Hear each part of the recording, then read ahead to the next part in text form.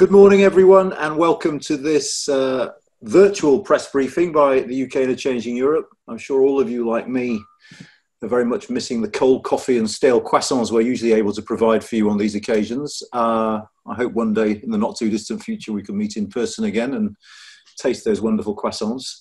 We're here to uh, launch a report written by Sarah Hall and her collaborators, Scott James, uh, Lucia Quaglia, and Martin Heneghan. Uh, and we've got a wonderful panel to talk through some of the findings of the report. Sarah herself, who's Professor of Economic Geography at the University of Nottingham, Nicole Sykes, who's Head of EU Negotiations at the CBI, Peter Foster, Public Policy Editor at the FT, and Jill Rutter of the UK in a Changing Europe. Uh, the system we're going to have for this is each, each of them is going to, well, Sarah's going to talk for about five to seven minutes. The other three are going to talk for about the same amount of time. Then we're going to open for questions. The way we're going to do questions is if you use your hands up, raise hands tool on uh, Zoom, I will try and come to you each and you'll be unmuted and you'll be able to ask your question. Uh, something will go wrong. It'll almost certainly be my fault, but that is how it's meant to work in principle. So without further ado, Sarah, can I turn to you to kick us off? Yes, thank you very much, Anand. I'm really um, pleased to be able to speak about the report this morning. So, um, what the report does is that it takes as its starting point the fact that the UK is a services economy. And um, we know around 80% of the economy is services, or that that contributes around 30 million jobs. And I think crucially, in terms of the Brexit negotiations, this really important sector has been shaped in quite fundamental ways by the UK's membership of the single market. So the EU is the primary destination for UK services exports. The UK runs a trade surplus with the EU in services, and some parts of services rely really heavily on um, EU nationals. That ranges from financial services right the way through to road haulage. The crucial factor that's underpinning that is the fact that the EU single market goes much further in terms of enabling cross border services trade than is typical for other free trade agreements. And in the context of the current trade negotiations about what the UK's future trading relationship will be with the EU, that's critical. What's really interesting then is that despite this importance and the vital role of the EU, there's a really interesting parallel, I think, between the May and Johnson governments in that they've paid much less attention to services in terms of the whole Brexit process as compared to issues like manufacturing. Uh, heads up, there's a UK Changing Europe report coming out on Brexit and manufacturing shortly, and fish, and I believe there's one on fish as well. And I think the fact that services hasn't received as much airtime is, is really important to think about in terms of why that's the case. And here, I think it's important to note that the key issues for the negotiations on services are different to those of goods. So when we think about goods, we think about issues at the border, um, things like custom, customs checks, tariffs, etc. The key issue for services is questions of regulatory alignment or not between the UK and the EU. And because it's this focus on domestic regulatory alignment, that really um, brushes up in some quite interesting ways with stated domestic policy goals of things like taking back control. So, for me, one of the key issues in the negotiations is that the UK government sees regulatory autonomy as central to its plans in opening up other global markets for services, although it's less clear what those other markets might look like. On the other hand, the EU is clear that single market access can't be cherry picked under those conditions. And the EU is concerned to remove risks that it might see from the UK in terms of regulatory competition. So, in more detail, what the report does is look at what the UK is asking for um, using the um, draft agreement published by the UK um, recently and thinks about what some of the implications could be for different service sectors um, if that were agreed, if an agreement were met with the EU, but also what might happen if an agreement wasn't sought. Much of the kind of um, public discussion about the um, UK negotiating position is that the UK has said, well, we're asking for the same as what the EU has offered other countries. Um, Canada is often used um, in that way. So, one thing we did was look very closely at, at, whether that is the case. And I think it's true to say that in some areas, the UK's draft agreement is exactly what the EU has agreed with, with Canada. But in other areas, the UK is asking for more access. Um, one area would be around who's licensed to sell services, so how you know a lawyer is a lawyer and whether a British lawyer, for example, can sell their services into France. Um, that isn't something that the EU has agreed with Canada. And the UK also wants a wider sectoral coverage than the EU is proposing. Um, and particularly critical here um, is the UK's inclusion of the film and TV industry, which is um, an area that the UK has competitive strengths in. It's not clear at this stage of the negotiations um, when such a deal might be secured, I don't think, and I don't think it's clear what that deal might look like. Um, I think it's important to note that because um, free trade agreements don't go as far as the single market does on services, at the end of the transition period, when that comes, UK services will be trading into the EU on a different footing, either with or without um, a deal. And much has been made of some of the kind of precarity that that might give rise to for some sectors like financial services. Um, without a deal, I think it's fair to say that there would be new barriers for some businesses who are looking um, to export into the EU. Um, and we look at some of the issues that that might raise for different sectors in the report. Um, so questions around permits for HGV drivers, um, how film and television companies sell into the EU market. Um, I think just two final points. One is that how this plays out across the UK, I think is likely to be variegated, and we make note in the report that the service sector is not evenly distributed across the UK, and different places have different sectoral foci. So I think that's important to note. And that becomes amplified when we think about how this process is going to be played out on top of the impact of COVID on the service sector. Um, so I think thinking about how it plays out regionally and in addition to the challenges and opportunities for some parts of the service sector that, that COVID has um, produced is going to be really important if we want to understand what the possible impacts could be at the end of the transition period for the UK services sector. I'll leave it there, Anand. Brilliant. Thank you very much indeed, Sarah. Uh, Nicole, it's very good of you to join us. I imagine it's all hands the, all hands to the pumps at the CBI at the moment. So thank you so much, and we look forward to what you have to say.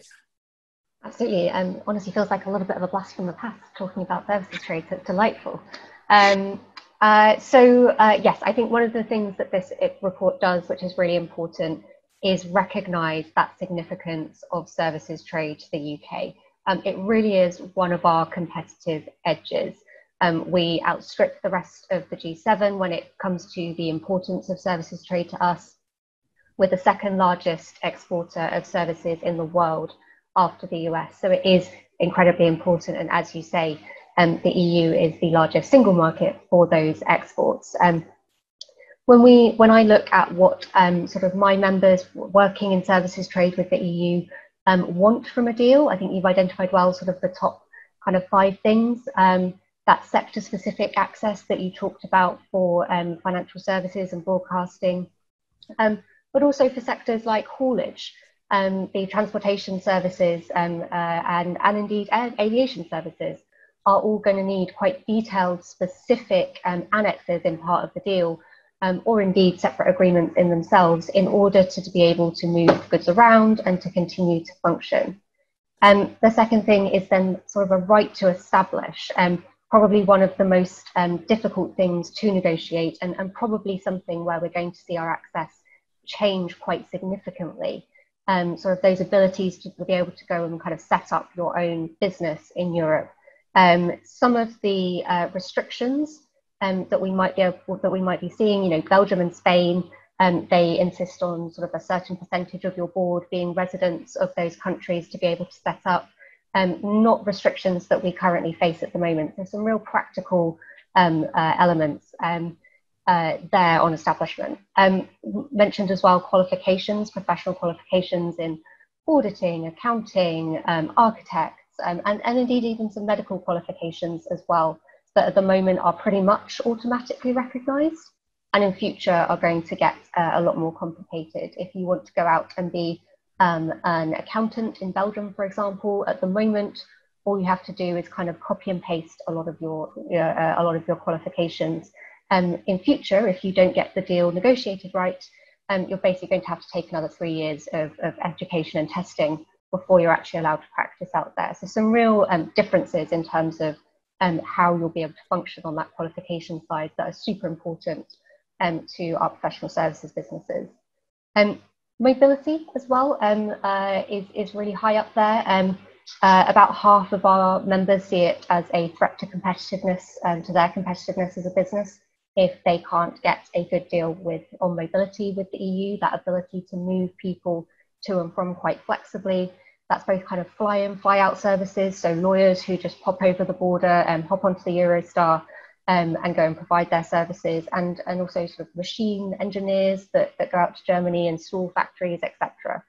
Um, and then finally, data as well, sort of um, a billion pound economy um, uh, uh, for the UK, um, and getting data flows right is going to be incredibly important. We know there's a lot of politics um, that can cause difficulties around that. Um, sort of as, as you said, looking at the um, uh, what the UK is seeking from these negotiations, um, there is a fair amount of difference between the UK and the EU on some of these things. But on qualifications, on mobility, on data, and um, we do see a fair amount of ambition from the UK actually. And, and, and you talked about sort of the airtime that services get. Yeah, services does get less airtime. It, it's more difficult to explain how services firms work because it's so difficult and it's different and it's, it's harder to imagine um, uh, how that works than say the sort of components that you can trace through the supply chain. Um, but I do think actually this government has done pretty well by services in what it's seeking from the deal. Um, uh, it might not get it, but um, I certainly think we've kind of gone from a situation where services felt they were being sacrificed to goods to actually hearing some of the opposite um, uh, way around, which which may be that they're balancing out. Who knows? Um, I think you touched very briefly on um, sort of the coronavirus and, and how that changes um, some of our trade and services. We know looking at um, the PMIs, they've dropped off a cliff. Um, services trade is at the lowest levels that since those surveys um, began. Um, and if you, I, I do think that that changes not the deal that we're going to get, but certainly how services businesses feel about the deal um, and also what the sectors look like as we come out of this crisis. You know, if you are selling services where um, uh, you are selling from abroad right now, if you are one of those companies selling software into Poland or whatever, you are pretty much facing a drop off in your income right now, even though you can still practically do that. Um, demand is lower across the board in every sector. Um, if you are trading services through um, mobility, either by people coming over here and, and um, you know, we, we, get services trade uh, value from people coming and visiting our hotels and our restaurants, you know, that is decimated right now. Um, uh, looking at our surveys, it's about negative balance of 100% in our um, in our travel industry in terms of profitability right now. Um, uh, uh, looking at our hotels, sort of negative balance of, of 75%. So really huge um, drop off in activity there, you know, that, that services trade is, has stopped. Um, similarly, you look at some of the kind of quite controversial conversations we're having at the moment around quarantine. We know that kind of flights are uh, in single digit figures compared with um, uh, uh, volumes previously. Again, that services trade has vanished um, and establishment uh, looking at um, uh, the Centre for Economic Performance, uh, they put out uh, a study on services trade affected by coronavirus, saying that um, a lot of the business happening through that channel has completely stalled. Um, so we are in a very different environment. Um, and I think at this moment in time, talking to some services firms, they're kind of saying, well, the worst has happened. You know, you're not going to get worse than this um, uh, with the Brexit deal. but it is really important that we um, that the negotiators going out, um, dealing with these very political and complicated issues, um, do the best that they can because we're going to be clawing back every decimal point of growth that we can get. Um, and it is really important that we do what I can for our services businesses because it has been such a strength for us. We need it to come back and be a strength again. Brilliant. Thank you very much indeed, Nicole. Uh, Peter, ready to go? Thanks, Alan. Very comfortable on a settee, I have to say. I'm slightly it keeps my old back, uh, my old back straight. Uh, uh, thanks, Nicole and Sarah. It's, it's fascinating to hear from the coalface, uh, Nicole. I, I, find this report um, uh, weirdly both both rather terrifying, but also uh, rather encouraging. to to Nicole's point about ambition. Um, earlier this week, I was standing on the cliffs above Dover, looking at the um, trucks rolling off uh, the ferries, uh, uh, and it takes three minutes and 54 seconds. I timed it for a lorry to get from the back end of a, a ferry in Dover to the A2, A20. And there are 7,000 lorries that roll across that um, just the short straits and the ferries every single day. And if you, uh, to the point in, in, in, Sarah's report about haulage, if you look at, at chapter 20 of the uh, uh, draft trade agreement, uh, it basically says that um, both sides will recognize each other's uh, uh, trucking permits. Uh, and so, in that world, uh, everybody uh, is free to drive their, their lorries back and forth. And actually, 80% of the lorries that go across the channel are EU lorries. What happens in a no deal? In a no deal, we fall back on these things called ECMT, if I have that acronym right, permits. There are 38,000 truckers in the UK, and even with the EU's enhanced no deal plans, which, by the way, are not, as things stand at the moment, are not going to be implemented by the Commission this time round. But even in the enhanced scenario, I think we got 5,000 something uh, monthly permits and an extra 1,000 annual permits. Well, if you imagine the gap between those two worlds, the deal world and the no deal world, you start to wonder whether no deal uh, is really workable. And, and I think so much of the same applies in other areas of services. And, and the ambition that Nicole uh, uh, talks about in the, in the draft deal speaks to the fact that the government actually gets that. Uh, so, so if we get into a world uh, where, um, you know, in mode four, we have no, in fly in, fly out services, we have no um, uh, uh, visa free travel for businesses. and we we really are back to, you know, being, um, you know, as if we were from Azerbaijan or Afghanistan or Zambia or wherever. You know, uh, it's a kind of unthinkable world, I think, and therefore it encourages me in the belief that actually there will be a deal and there will have to be a deal. Uh, that's not necessarily a particularly popular view at the moment, um, but it is also true uh, uh, that the Commission the negotiators, whether it's on fish uh, or on any of these services, chapters on, on some of the mutual recognition of conformity assessments that would facilitate uh, uh, uh, uh trade in services or, or, the services components of, uh, of goods. Um, all these things are possible, but they're all linked to the rest of the agreement. And it's why you're seeing a, a, reiteration of what we saw last time, which is everyone throwing sticks at each other, but with this belief that you know, come September and October, everyone's going to have to sit down uh, and make some serious compromises. And I still believe actually that that is what will have to happen. You know, there are obvious landing zones. You know, the UK has agreed to uh, a non-regression on a lot of the level playing field stuff, which the EU cares about. Um, you know, yes, there'll need to be a fix on on state aid. I'm not saying that's easy where the court, where the ECJ is concerned, but you can absolutely see when you look at this report, when you look at the draft deal of what the UK uh, is going for, if the UK is so delighted to have an Australian deal and, and, and fling itself off the cliff, why is it asking for this stuff? It's asking for this stuff because without it, the numbers are horrible. Those uh, projections done by NIESR, Sam Lowe's done some at the Centre for European Reform, and in fact, the Treasury's own project- projections, I think, Sarah, they're in your report, 60 plus percent drop off in services in a worst case no deal. And frankly, I don't buy that. I think some of those, num- those numbers are probably overstated when you talk to, uh, and I'd be interested in Nicole's view on this and, and, and anybody on the call.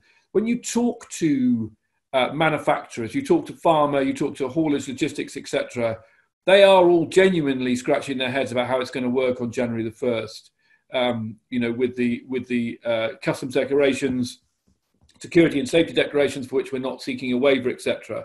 When you talk to the services uh, firms, this may be complacency. I don't know, Nicole, what you what you hear from your members here, but you do hear less of a panic. I, t- I take the point that COVID is a bigger, you know, what could be worse than COVID, but ultimately, when a vaccine arrives, COVID goes away. This is long term friction we're talking about with the EU. Um, but you don't hear quite the same panic in the voice of services companies. I think audiovisual always knew they were going to be done in. The French won't have audiovisual, they never would. Uh, we go back to remember Theresa May's speech where she uh, put out the begging bowl for audiovisual. I think that's going to be a stretch. Um, but but you don't hear the same, uh, quite the same panic that you hear uh, from, the, as I say, from the pharma and the manufacturers. And I wonder why that is. And I have talked to some people in Brussels uh, who model trade who are much less pessimistic about the impact on services. You know, size and proximity cuts both ways. Are we really going to be in a world where there's mutual interest, even if we get into a patchwork of bilateral agreements? Uh, that for mode four, um, you know, immigration is going to be turning away people at the border. There seem to be a sense that there are more fixes out there. You get your Irish legal qualification. Yes, it's a bit of a pain. Um, now, uh, th- that may be wrong. It may just be complacency. It may just be that everyone's too busy with coronavirus. It may be that people haven't really thought about it. But I wonder whether actually the, the kind of gravity takes over in a good way uh, uh, when it comes to services. And, and yes, you have to establish more mode three, uh, but actually there will be a visa free uh, um, there will need to be a visa-free regime for tourism and business. Uh, um, you know, because if there isn't, you know, it, it, there's a mutual self-interest in that happening. So maybe that's optimistic, but that's um, what the, the, gumshoe reporter hears uh, around town when he phones up when he phones up uh, relative companies and um, uh, uh, and uh, asks questions. So on that optimistic note, I think that's that that's my observations. Don't know why you need gumshoes if you're just ringing people up. But anyway, uh, we've got a couple of questions, written questions in, and we'll go to those. But just to remind people, what we're hoping to do is actually, if you put your hand up, and you all know from experience, I'm not a very good chair, so I'll probably miss people out. But we'll come to people and let them ask their questions directly. But we will do the three written ones we've had after we've heard from Jill. Okay, thank you very much. I'm going to be very brief so we can get into questions very quickly. I think it's very interesting. Um, as Sarah said, under Theresa May, she was focused on goods, thought actually services were, in a sense, the sort of sacrificial lamb for her desire to end free movement of people, uh, and was very focused, obviously, on the need to find a way of avoiding a hard border in Northern Ireland. That hard border was always going to be a goods hard border, never a services hard border. So the Northern Ireland Protocol uh, doesn't cover services, it's a goods protocol. So that's sort of one of the sort of interesting issues. This government has been so convinced that it has to present its ask as a collection of the EU's greatest hits in other free trade agreements that it's underemphasized that it's actually asking for things for services. Um, because a zero quota, zero tariff deal is the deal that works for goods, and frankly, is the good is the deal that answers the EU's principal concerns about trading with the UK after Brexit and appears to try to throw under a bus the UK's main interest, which is in maintaining our surplus in services, as Sarah's report points out. So I think it's very interesting that it was only really when Michel Barnier started talking about the extent to which the UK was cherry picking by asking for special arrangements on services that really came out that actually the UK was being slightly more ambitious than it appeared to be. But it's quite interesting because in all the talk that we've had about why the EU's trade agreements don't really work for the UK in the past and how the UK's independent trade policy was going to be better for the UK, the rhetoric from government has always been that this was going to be actually services for agriculture deals, that the UK would be using new trade policy to uh, make bridgeheads into services markets that it had failed to penetrate in the past because this hadn't been a priority for the EU in trade deals in the same way as it would be for UK trade negotiators. So I think, in a sense, it's a shame that the UK hasn't made more uh, and more positively of what its services ask is. It's quite interesting when you go back through all the negotiating rounds. Uh, there have been equal numbers of uh, sessions scheduled on trading goods as on trading services and separate strands on some of the transport issues that Nicole mentioned. This negotiating round is even more interesting because there are three scheduled sessions on services and only two on goods. So I think that's quite interesting. the danger, of course, for the services sector is that if the government is forced to do some sort of skinny FTA under duress in its very compressed timetable, which is the timetable that you require if you don't seek an extension, every indication is that the government won't, that the things that are too difficult to negotiate because they're new, they're different, uh, and raise lots and lots of issues for the EU will be those demands on services. Uh, so you will end up with a FTA that probably works quite well for the EU, an FTA that gives zero quotas, zero tariffs. Everybody will hail it as a triumph, but it won't meet the specific needs of UK service sectors. So I think that's the sort of future thing to watch out for. I think the question on business is very interesting. Um, about uh, just over a year ago, we had a panel about why services interested featured so lowly in the uh, in the May uh, issues things, and people from the service sector were saying, well, maybe it's because it's been so dominated by financial services, and they're very very strong arguments about why the UK didn't want to be a rule taker. Sarah's report uh, quotes uh, successive governors of the Bank of England talking about why the UK doesn't want to be a rule taker on financial services. That's one of the issues where the UK has come closest to exercising the Luxembourg Compromise to veto EU rules. We wouldn't be able to do that without a seat at the table. It's forgotten the rest of the service industry, and Sarah's report shows business services are really sort of even bigger than financial services in those terms. So I think that's quite an interesting, interesting fact. It's a very diverse sector with very different interests and very different needs. It's not a very visual sector. So the pictures of uh, Peter can't go and stand anywhere to look at services exports shriveling away in the same way as he can go and check for chaos at Dover. So I think those are factors. But I think the other reason why you hear relatively little from business is smaller providers are probably unaware still of the scale of the change they're about to face. Bigger providers have been marched up the no deal hill so many times already that they've probably made their adjustment plans already. They've moved staff, they've moved assets. Sarah's got a diagram, I think, of where financial services already started moving to in the report. So I think they're actually, you know, they're getting their staff requalified with those Irish qualifications, etc. They know that it'll be advantageous to employ EU nationals who'll be able to move more easily and won't be subject to visa restrictions that might potentially be down the line. So I think we've seen some adjustment already. That's okay for the firms. What is not so great for is the UK economy because that income may move to other jurisdictions. That's a loss of economic activity and tax revenues. So I'm going to stop there. Thank you. In fact, something that Jill just mentioned, I think ties in with John Peet's question. And John, I'm going to come to you in a couple of seconds to ask you to ask it. But we've got a question here from John Campbell that I just wanted to put to you, which is about the uh, NI protocol uh, and the question of how services interact with the protocol when it comes to both services embedded in uh, goods, so services packages sold by uh, Northern Ireland manufacturers. Will will the situation be different for them under the protocol than for others in GB? And the second question, which is really interesting one actually, is could Northern Ireland-based service providers who have Irish citizenship have intrinsic advantages over others who don't? I don't know if anyone, Sarah, will, I'll give you first dibs on all these, but you don't feel you have to answer everything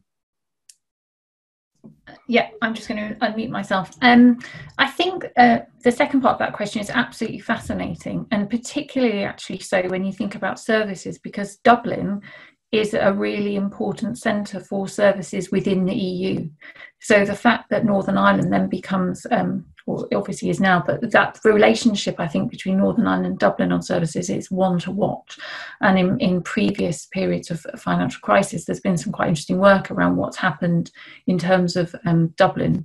The um, other point I wanted to make um, in response to that question is that the Northern Ireland focus on services, as I understand it, is characterised by a much larger number of SMEs than is the case in other parts of um, the UK. And I think that speaks to a really important point about how some multinational service firms are probably relatively far advanced in their um, exit planning. I think the same isn't true for SMEs, and that might play out particularly um, acutely in Northern Ireland, not least because of the issues around the protocol, but also because of the specificity of their service sector. Does anyone else want to chip in? You don't all have to answer every question, but if anyone's got anything pertinent to say, you're more than welcome. Is Peter about to unmute himself? Does the I was going to say it's interesting that the, you know the protocol has different VAT regimes for goods and for services, and the the VAT regime for services is the EU regime, correct? Um, and that is an area I think where they, where you are going to find best of both worlds um, for for Northern Ireland. I I'm not sure whether that's going to offset. We we obviously remain to be seen how uh, the regulatory board is going to happen in the Irish Sea. Whether that's given the makeup of the uh, uh, uh, online economy, whether that's really going to offset, um, you know, the additional frictional costs for NI consumers uh, as a result of of uh, uh, um, the regulatory border. I, I, very difficult to know, but I do think that is probably one area where Northern Ireland does get best of both worlds. Brilliant, thank you. I hope that answers your question, John. If it doesn't, just write a follow up and say you haven't answered my question, and we'll try and come back to you. Uh, I have this wonderful power virtually to allow John Peet to talk. And I'm now going to click the allow John Peet to talk button and see what happens. So, John, when you're ready. You're on mute. All right, now I think I'm. Can you hear me now? Oh, this is fantastic. It's a triumph. Technology, it works better than it does when you're in, in the um, London.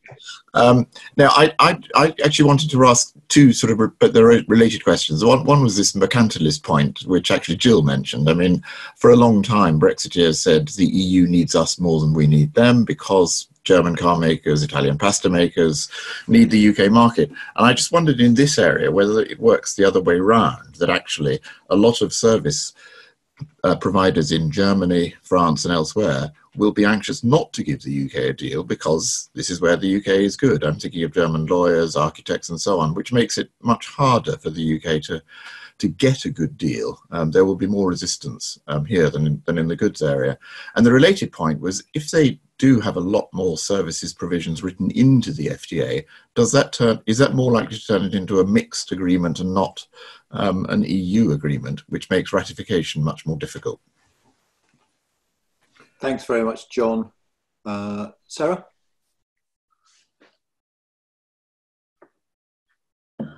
Yeah, I've just unmuted myself. And I think this question of interdependence between the EU and the UK on services is really um, fascinating. And I think in some sectors I would agree with you um, particularly actually probably business services. Um, I think though there's a really interesting um, area, Adam Tooze has written a bit about this, around the, um, the extent to which the EU requires liquidity from London's capital markets and may require that more in the wake of um, coronavirus. Um, and hence i think that's maybe why financial services gets teased out separately in that the interdependencies work differently for financial services compared to the um, rest of the service sector and on that i very much agree with um, peter's earlier points when i was um, reading through the uk's um, draft agreement the more i read it the more it became clear that the uk was asking for things on services which really showed, I thought, that you know this was an area where the government recognised that there are issues and it's a strategically important sector. So um, I just really wanted to um, support Peter's point on that as well. I don't have anything more specific to say on that issue. Uh, just to remind the audience, do put your hand up if you've got questions to ask. I've got a horrible feeling I've just taken someone's hand down who had their hand up, in which case stick it back up again and I won't do it again, I promise. That was just me messing up if it happened. And uh, Yes, Peter, off, over to you. Uh, it's an interesting one on whether or not uh, um, you know the guilds of French or Belgian architects are going to use uh, a Brexit to kind of you know keep out those nasty Brits who are quite good at services. I, I mean, the answer is nobody knows. And if you get into bilateral, into a situation where all the agreements are bilateral, which you would in this scenario, maybe. But I would just observe that during the negotiation, the preparation for the negotiation, when you see readouts of the discussions of member state delegates with the Commission, generally speaking, the delegates, uh, the member states have been pushing um, for a more liberal a- a- approach, and it's the Commission saying, no, no, no, no, let's not give, you know, that that's an offensive interest. Let's not give anything away here. Um, and, and your sense you get maybe is that actually, if the UK comes on on side uh, to the extent that the EU can live with on on on the governance piece and on the level playing field piece, then actually um, member states will want a reasonably smooth and functional.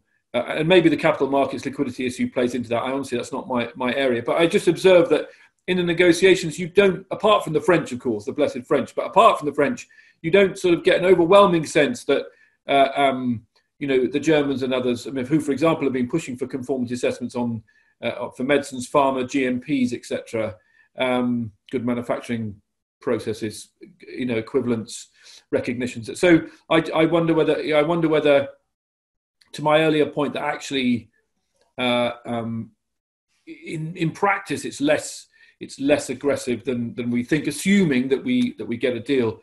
Um, as for mixity, isn't uh, am I right? I think I'm right in saying Anand probably knows this better than I do, but I think the, the the point at the moment is that a lot of this is going to be done um, uh, in on a, on a two one seven on a majority basis, and therefore the bits that might be mixed can be hived off separately, so that so that mixity does so the mixity question doesn't become a block to ratifying the deal. At least that's how, that's how I understood it, but I may be I think I think that's how I understood it. I think that's how I understand it as well. Though whether or not, I mean, it runs into the question slightly of how much the EU is willing to hive off into separate things, because of course that runs into the principle of the single structure. Uh, but it's certainly this is when we really need Catherine Barnard around. But yes, that is how I do understand it. And if I hear different from her, I will report back. But yes, do, either of Jill or Nicole want to? Nicole's nodding. Yeah, just just on that point about um, sort of the mercantilism, and, and I think it plays into almost like Peter's question about um, sort of preparedness as well. Some of this is about importance, but it's also about how high the barriers are going to be. So financial services, obviously, huge amount of our services trade um, with the EU. Um, we know that that is going to face very high barriers um, uh, to trade um, because we are no longer going to be um, part of the single market. Um, I think on the preparedness side, that's that feeds in because it's you know they'll they'll, they'll be ready. They have been working on this for a very long time, their regulators have been very good about that. Uh, so yes, you're you're hearing less from the sector about those concerns. Business services, as Sarah Sarah says, is another huge component of our um, services trade, and it and it is an incredibly varied amount of our services trade. And actually, it's astonishing to me as an aside how much we talk about architects, which is a smidgen of a fraction, like a hundred, like a couple of millions um, in terms of our trade with the EU. It's tiny. Um, but the barriers to business services trade are actually relatively low. Um, uh, they are more around people than anything else. And actually, what the UK is negotiating will probably deal with a lot of those barriers. It's not like in, in chemicals and food where you just have these reams and reams of regulation and changes. So that is kind of why you might not see as much push from negotiators to focus on them because those services will more or less um, be all right. You know, if you um, often when we're talking about US trade, we talk about how businesses have pretty much got used to the rock in the ocean and they go around it.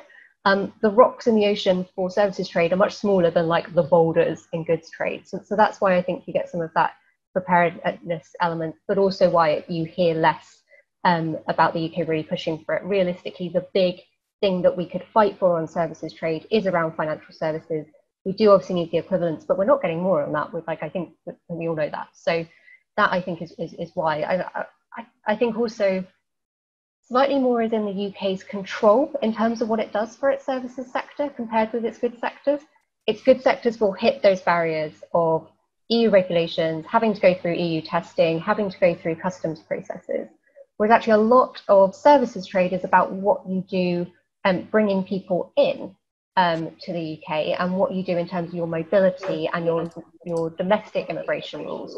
And I certainly see those um, uh, immigration rules actually being much more important to a lot of services businesses in comparison to the negotiation side. Brilliant. Jill, do you want to chip in? Okay. Uh, we've got a question from Mark Latham. Hi, Mark. On what are the prospects for the UK's 10 trillion pound asset management industry, which has already seen around a trillion pounds of assets being shifted to the EU 27? I am. I'm looking at you, Sarah, even if you can't tell. yeah. Um, so asset management is um, one of the parts of the services sector where some of the early signs are that there have been relocations. Um, I think an important point here is that any change in London as a financial centre will be gradual, and I think there's um, signs that that is already underway, which in some ways makes tracking it um, harder. And the other key point is that I think it's important to note that at the moment it doesn't look like it's going to be a, a, a, straightforward kind of London declines and Frankfurt, for example, emerges as the EU's um, financial centre. Asset management's a really good example of this because it looks like some of the early relocations in asset management are particularly interested in Dublin um, and to possibly a slightly lesser extent um, Luxembourg. And I think asset management is also one of the areas within financial services um, where um, not being a rule taker and being able to um, take advantage of more regulatory autonomy is seen as quite a significant advantage um, at the end of the transition period. And again, I, I think that's important because it shows that different parts of the financial services sector are differentially exposed here. So, what this means for asset management is quite different to what it means for um, retail banks, um, and also the kind of mid and back office functions of financial services that often aren't in London at all, but are in places like Peterborough, Swindon, and Northampton, which are very differentially exposed to, to Brexit and the end of transition. Anyone else on asset management? Okay, we've got a question from an anonymous attendee, which had me worried to start with in case it was one of my kids trolling me online or something, but actually it has capital letters in, so it's not. Uh, has the case for Brexit been strengthened by the EU's perceived failings over its response to COVID 19? Slightly broader question there. Uh, but I mean, in, I suppose it's, it's, it's almost a British politics question as opposed to anything. I mean, Jill, do you have any thoughts on that? Whether uh, I actually don't think it's probably made that much difference. The thing to remember is that public health is a member state competence, not a community competence. So actually, the the sort of you know the key response there had to come first of all from uh, from member states. Um, I think what is interesting um, is that if the referendum had gone the other way, if it had been um, 52% to stay in, um, 48% no, I think that you would have seen a lot more in the papers now, uh, dominating whether actually we were being constrained, the EU is being hopeless, were we mixed up in this completely hopeless institution? Doesn't it show that actually the 52% were completely wrong? Uh, and I think of many of those things would have sort of, you know, refracted through that debate. Assuming we'd stayed as polarized after that referendum result as we have stayed now, what is quite interesting, I think, is the way that and Anand and uh, others at UK Change who have written on this, the way in which actually quite a lot of the sort of lockdown response debate has also been polarizing, at, particularly in Parliament. And it's got a piece in HuffPost today uh, around the sort of, you know, if you're a Brexit uh, supporter in Parliament, you're more likely to be a lockdown skeptic and things like that. So I think it's quite interesting how that was done. I think we would have seen huge amounts in the British press about, uh, particularly the Eurosceptic press, about the hopelessness of the EU response, and that might have conditioned attitudes, but I'm not sure it would have made a hmm. substantive difference.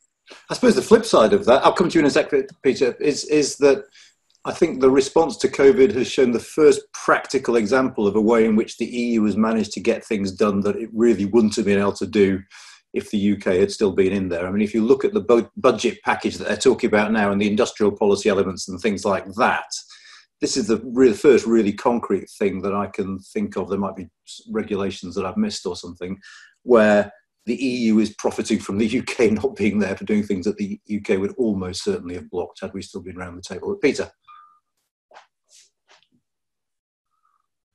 Yes, uh, uh, uh, uh mismanaging COVID is a kind of globally competitive industry, I, I, I suspect. Um, I, I, would just I would make, make an observation. I think it's quite interesting actually how uh, ironically, COVID, um, it seems to me, in the kind of autarkic uh, uh, industrial policy outlook, you know, you're hearing quite a lot of that out of bits out of the Vote Leave bits of number 10, funnily enough, just as you're hearing, uh, you're hearing in, in Europe too.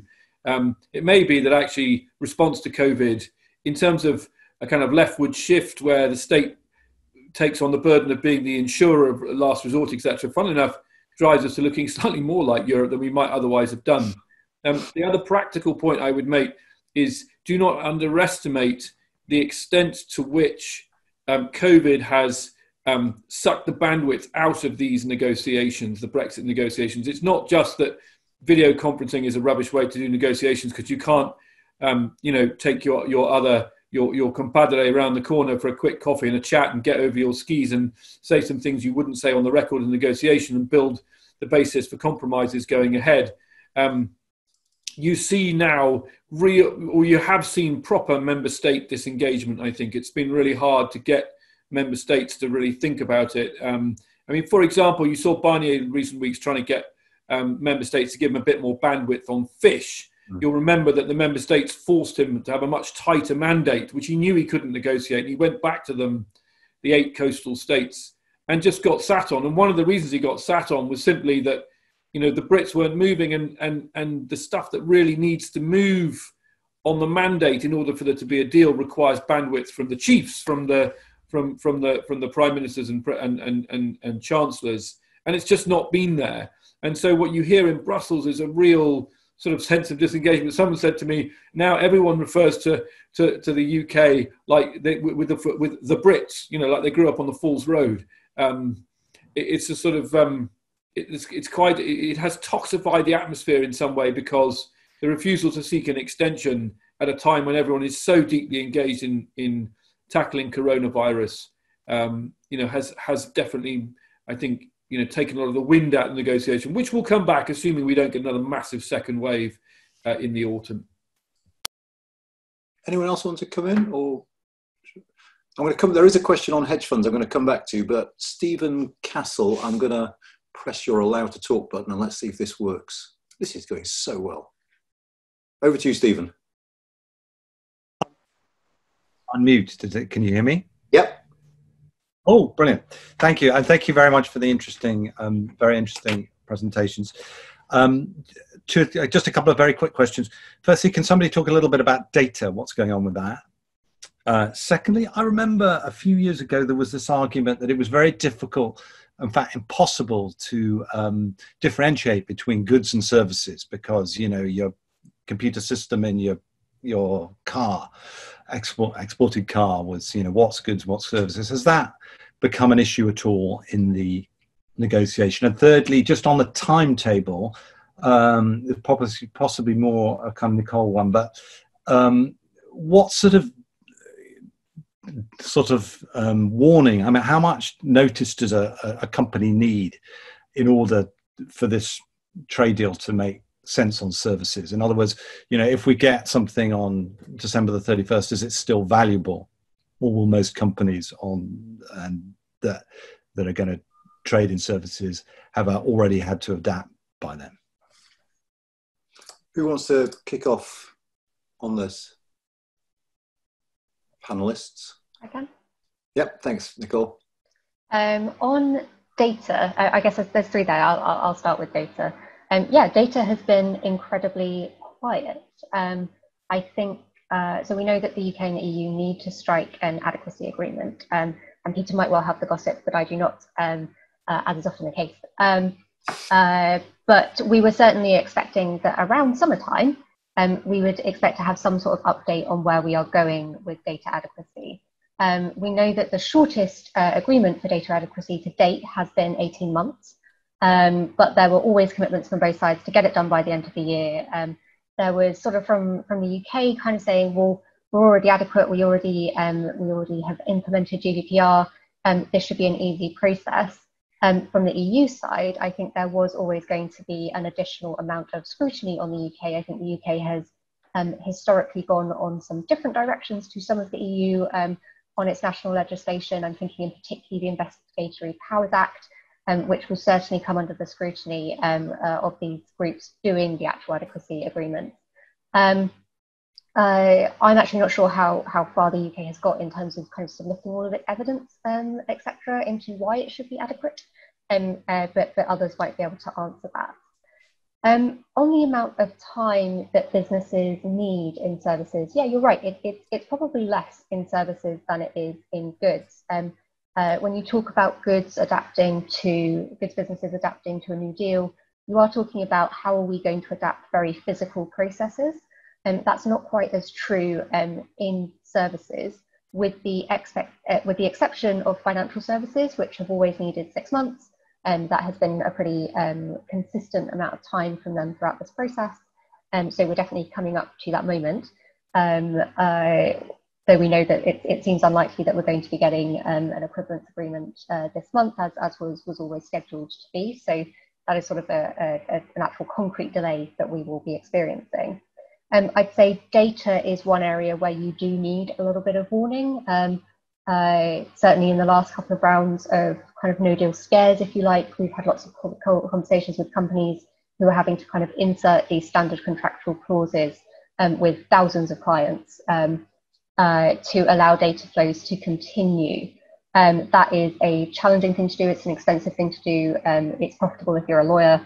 Um, uh, you have to do that kind of through your new contracts. We also know that those um, adequacy agreements are due to have a judgment on them, I think, um, sorry, those contractual clauses are due to have a judgment on them as to whether or not they're sufficient, um, which was going to affect um, uh, whether we can do that next time round. Um, so, so that is something we're keeping an eye on. But I think in general for services businesses, it is more about what the future looks like and how easy it is to operate into the future. And I think that's true um, uh, for just the services industries as a whole. You know, um, what does our long term look like, I think is more important than some of those immediate changes um, that you might be worried about. And um, that. Can I just come in there, Anand? Mm, absolutely. Yeah, and I don't have more to add specifically on data, but I just wanted to jump off on Nicole's point around around future proofing, because I think there's some quite clear indications in the UK draft agreement that the UK negotiators are concerned about that. And in the report, I talk about one really specific thing. It seems really tiny. Um, but the definition of who counts as a financial services provider in the UK agreement, the UK is including the phrase um, individual or businesses who supply it now or wish to in the future. So this idea of kind of future proofing it, I think this um, is really important in areas like financial services where innovation and the sort of production of new financial markets is really a hallmark of the UK's strength in that sector. Um, so, you know, developing fintech markets, for example, might be one area that the UK is looking to seek to, to protect there. And I think that comes back to the um, one of the original questions that you raised, Anand, that the definition of what services are and what services will be in the future is actually a really hard question to answer. And I think that makes um, agreeing a deal quite difficult. So, how services relate to manufacturing changes, what's included in services, and what services will be are not fixed answers. And that, that's important, I think. I mean, that was part of Stephen's question, I think, was this issue of services that are bundled with goods and the issue of, you know, has this been, been a, a problem in the negotiations that uh, untangling services and, and manufacturing is actually sometimes a lot harder than you might think? Go on then, Peter. Um, yeah, just, just very quickly on data. The Commission was always clear internally that it wouldn't deliver an adequacy decision any time uh, soon. So you know, it's another example where the Commission is holding back where it could, um, de- you know, deliver adequacy given our GDPR status. That said, you shouldn't underestimate how different the outlook is in data in some parts of the EU. And if the UK becomes very sort of American in its approach, that's a real problem in Germany, right? You remember Safe Harbor was knocked down uh, uh, by the Schrems case, and they had to build Privacy Shield and fall back on standard contract clauses. Um, and when you talk to the people involved in that American decision, it takes a long time. You getting the CIA or GCHQ, because as a third country now, our data adequacy decision now must incorporate um, our security services, etc. Right? And and you know, you go back to the bugging of Angela Merkel's phone, Five Eyes, etc. It's not an absolute given, actually, that um, you know the UK uh, is seen as a kind of you know guaranteed to be compliant and there are real substantive rocks in the road i think i think there i'm not saying that that's where it'll end up but there are places where that could be quite difficult on the bundling of goods and services it's always been you know, one of the kind of disagreements is the extent to which, if you talk to people in the commission, they'll make always make a huge deal about why they want level playing field on environment, on on on regulations, etc., etc. Is precisely this uh, this this question of bundling, and and you've seen different reports about the place about the extent to which it really is actually contingent on the price of goods, the extent to which these things are bundled. But I can tell you the Commission will continue to make a big deal of it as it argues for the UK to sign up to its level playing field commitments. Did anyone want to add anything? Uh, we've, we've had a question from Takashi to which I think the answer is, is no, because uh, he says there's, there's been some progress on financial services will there be an agreement on that that can stand on its own if there's no other agreement on anything? And I think absolutely not. The EU will not uh, give us a deal on financial services unless it gets a lot of what it wants as well, uh, which is one of the reasons why you have this absurd situation of fish being a priority. I mean, the EU wants to get what it wants to get and isn't just going to give us a deal on that. We've got another uh, anonymous attendee, or maybe the same anonymous attendee, you can't tell, uh, asking about hedge funds. I, you know, a lot was made about the fact that you know hedge fund managers supported Brexit, but how will uh, Brexit impact on the hedge fund industry? Um, I think the important point here to say is that this isn't the first time that the hedge fund industry has um, threatened departures from the UK to secure regulatory advantages. So, um, for my sins, I teach a final year course on the geographies of money and finance, and we always use the example of hedge funds um, being very concerned about the regulatory changes after the financial crisis. And uh, we present a whole series of newspaper headlines at the time about hedge funds that were about to move to Switzerland um, and then didn't. And I think that that's important to note that quite a lot of the stories around the potential relocation of hedge funds or indeed other parts of the financial services sector can be as much around positioning and um, regulatory demands as it might be around a very tangible, you know, we are ready to um, establish an office in Switzerland um, tomorrow. And I think that's important to note.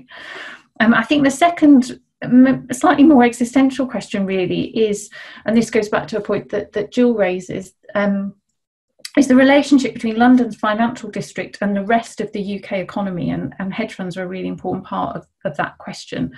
Um, so, um, you know, it, is London going to become some sort of version of what's often termed Singapore on Thames and slightly divorced or increasingly divorced from the rest of the country? Or are we trying to um, use finance to fund and fuel um, economic development across the UK. And I think the, the case of hedge funds is actually central to that because what makes sense for them in terms of their corporate strategy might actually be quite different to what might work for UK PLC. Interesting. Jill. Jill. Just wanted to come on to Kashi's because technically financial services, there's stuff about regulatory cooperation on financial services, which is uh, in the proposed UK FTA, but the equivalence decision is a sort of freestanding unilateral decision by the EU. They could do it if they wanted to without a trade agreement. We're a third country, we're applying for hmm. equivalence. It's just that the politics suggest that, uh, that that's very unlikely. Indeed, we had Varadkar early in the year saying you won't get a financial services deal without a fish deal uh, and explicitly making those linkages. But technically, they could give the UK yeah. equivalence decisions without FTA. Does anyone else want to come in? We're almost at the end of our time.